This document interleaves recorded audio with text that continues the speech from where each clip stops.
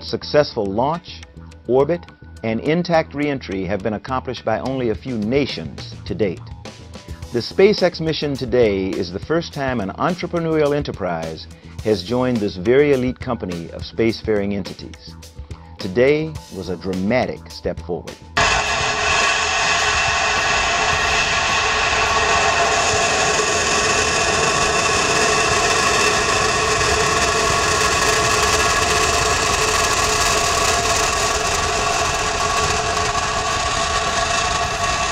We did lift off at 10:43 Eastern Standard Time.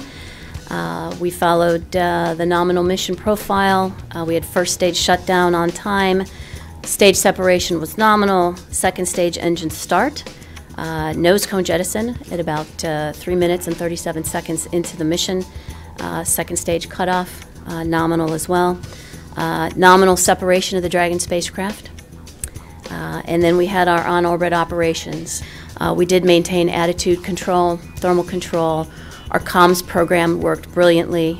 We had connectivity with the Cape ground station, Wallops ground station, Australia ground station in Australia.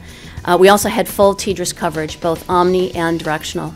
Uh, and the directional TDRS required uh, pretty specific pointing of Dragon uh, in order to maintain that link. And uh, we achieved that, we maintained it, and uh, it really worked flawlessly. We began the deorbit burn at two, uh, two hours and 32 minutes into the mission. Uh, we finished that deorbit burn uh, slightly early. Um, the reentry phase began at two hours and 58 minutes uh, into the mission. Our drogue chutes deployed uh, nominally, three mains deployed nominally as well. By the way, we achieved an 8 meter per second descent speed, which is, uh, as Elon mentioned, quite, uh, quite comfortable from a landing perspective. Uh, we, uh, we, we believed we would, we projected we would have our water landing at 3 minutes and 19 sec, or excuse me, 3 hours and 19 minutes into the mission. We actually did it in 3 hours, 19 minutes, and 52 seconds, which was awesome.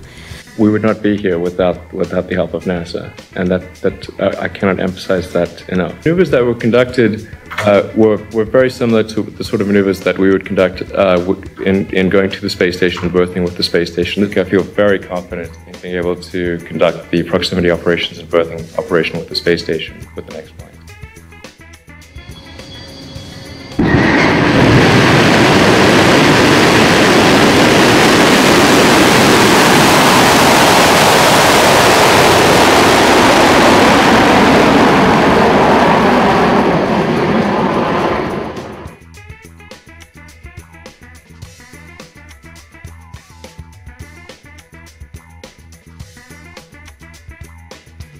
The case. If, if there'd been uh, people sitting in the, in the Dragon capsule today, uh, they would have had a very nice ride.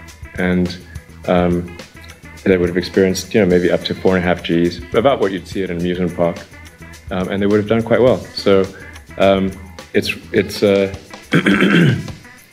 except for the escape system, um, and you know, its seats and, and some minor upgrades to the life support system, the, the vehicle that you saw today that, uh, can, can easily transport people. Um, uh, you know, we do, th- we, we do agree with the, the need to have a, uh launch escape system, um, and the testing of launch escape system is, is a, uh, a difficult thing.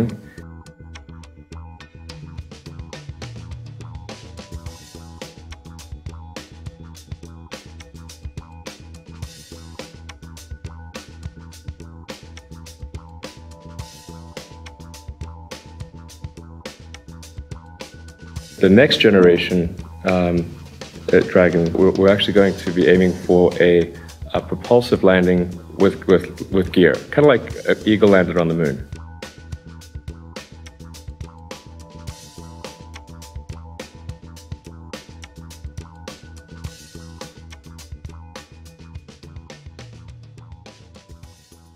We're beyond the if, you know, is it possible? And the answer is, of course, it's possible. We did it, and uh, and now we can move forward, get some stuff done.